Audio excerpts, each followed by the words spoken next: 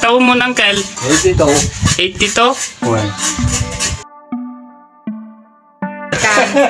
Nagkagat ka na uncle ta umay ka pa'y umangkat. Dito lako mi nga petsay. Kasi na po siya.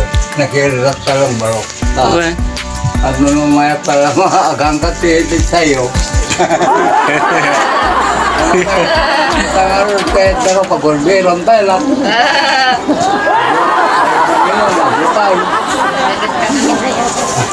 Nagagat nga mi ni uncle.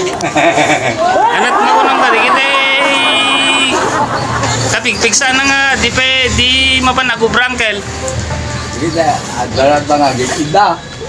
Uwan. Hingkat na sa dudda.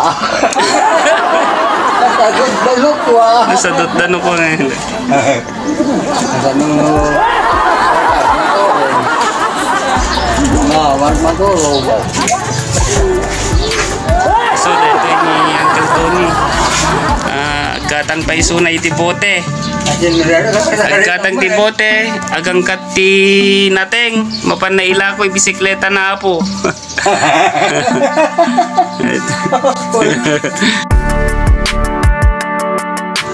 Ang katen na kanuti 10 pesos, ila ko namet iti 20 pesos. Di kat adda ti adda ti 10 na ti may isang ah, repet. Sama, dan sama ulong. Ompay, Na? ompay walo.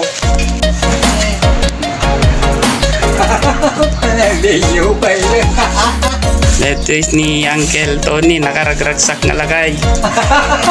Termi nga nakagagagit. Mo. Ano? Ang bayadak mo no ko ah, makala ko ah. Eh, nawanda. Hmm. Hmm. Paano na? So ito ang kanyang ginagamit na bike mga kaibigan upang sa ganun ay maibenta niya yung inaangkat niyang gulay.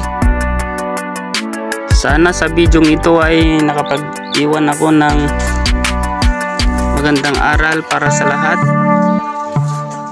Para sa araw-araw nating pamumuhay.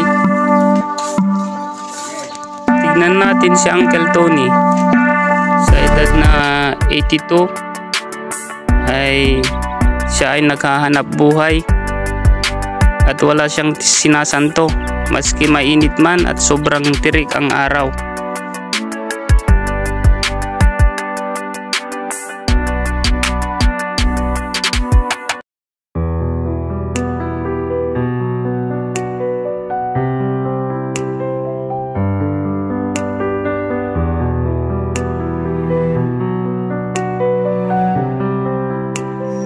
Andito ulit si tatay at nakabenta na siya. At ang kunting hiling niya ay sana ay magkaroon siya ng bagong bisikleta. At sana ay makarating ito sa may magandang puso. At magkaroon siya ng bagong bisikleta.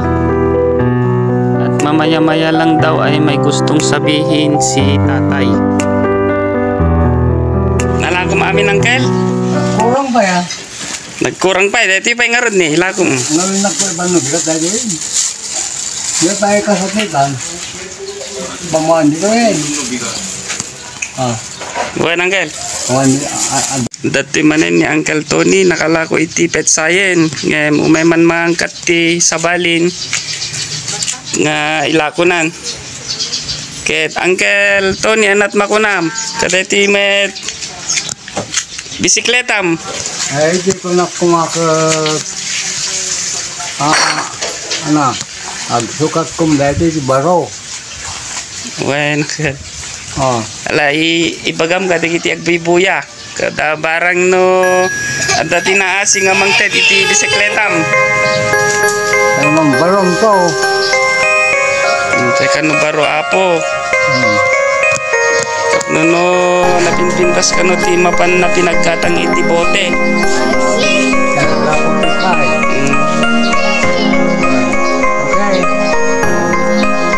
Okay. okay ka. Alain tumat, eh, tanggal ta, ta si Dael. Ano ni?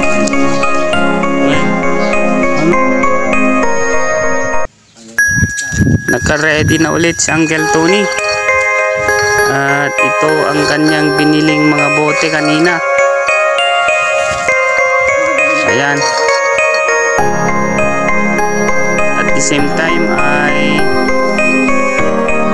bibili siya ng bote at magbebenta na rin siya ng gulay. Ayan si Uncle Tony, sobrang sipag. Muli ako'y nagpapasalamat sa pagsubaybay sa aking munting channel.